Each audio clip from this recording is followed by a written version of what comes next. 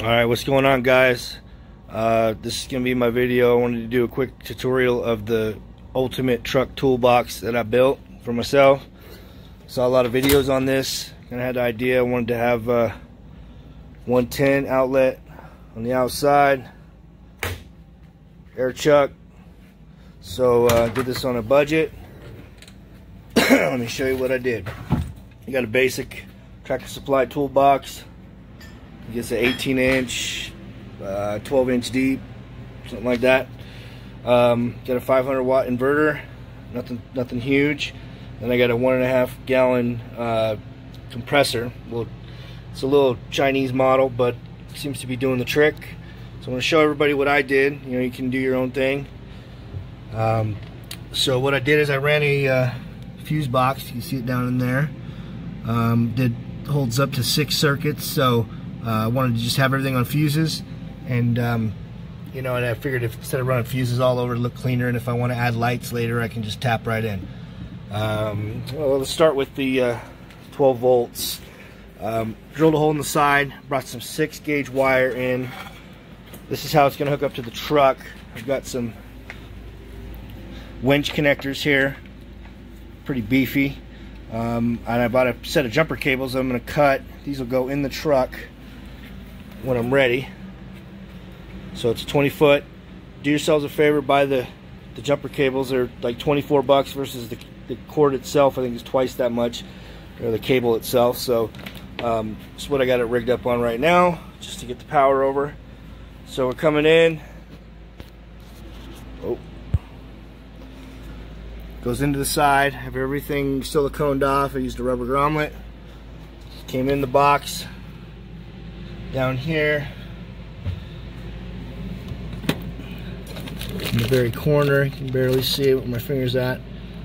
Um, came across and then I tapped it into the fuse panel negative positive.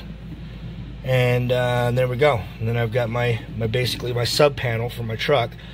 Um, everything's ran airtight.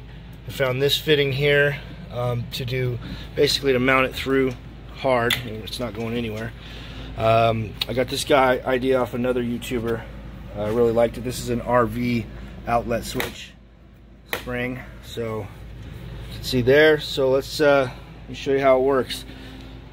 Uh, this will always have power. Um, you can turn it on. See the indicator AC voltage, and now we're good to go. Uh, the compressor. Let me find an air tool real quick. This. I got a flex hose, but we'll just plug this in for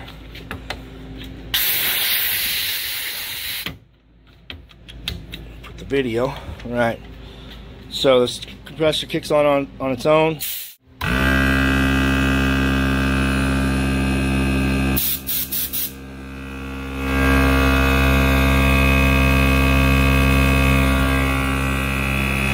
That's it. Now it says it's a 150 PSI compressor, cuts off around 120. I mean, I'm not expecting this thing to, you know, fill up a 35 inch tire in 20, 20 seconds or anything like that. But uh, I did re read the reviews. Um, it is powerful enough to fill up the truck tires that I got on my dually.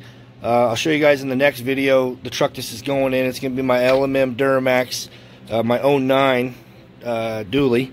So, uh, you know, I just wanted to have the ultimate truck box, you know, with, with, what I need. I keep a good toolbox on this side. Uh, and, you know, when it's all said and complete, if I have a breakdown on the side of the road with my camper or anything like that, I just got everything I need to go. I mean, last year, um, being prepared like that, I was able to help some people on the side of the road. I never, I didn't have a problem with my trailer, but you never know what you're going to run into. And, uh, you know, last year I was able to help some folks out by having an impact and all the, the proper gear. So, um, one thing I didn't specify was this is a half inch thick uh, rubber flooring. Um, you know, I got a piece that I had laying around, cut it to fit, and then I was able to uh, mount the compressor right through on the rubber without, oh, without isolators. So uh, good to go. Uh, I bubble tested all my fittings. I recommend bubble testing any any factory fittings or anything like that. Uh, everything was all good.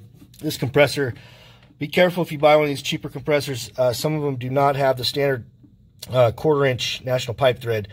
Uh, this one did, so I was able to take the factory fitting out and then just put a small leader hose, which was a three foot leader hose. You, um, I can help anybody out if they want to find these parts. You know, if you comment in the comment section, I can help you get these things located. I kind of just picked everything apart on Amazon. Uh, but there you go. I think it's clean. Uh, lastly, I'll get to this will be part one. Part two will be me when I'm done with the truck. This is going to be a, uh, a breaker. I just want to let everybody know that too. When you're running it along the firewall, uh, this will be a resettable breaker that I can kill power to this anytime up underneath the hood. And then uh, if anything catastrophic goes on, it won't tear the truck up.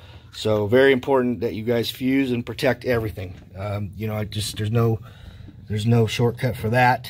Protect everything up.